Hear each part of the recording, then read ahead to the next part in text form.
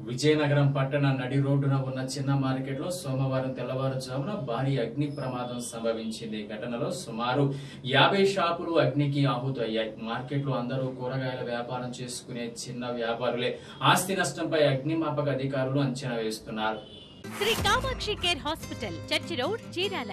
Cell nine triple zero eight zero eight one nine eight. Managing director Tadivalasa Devaraju MBA BL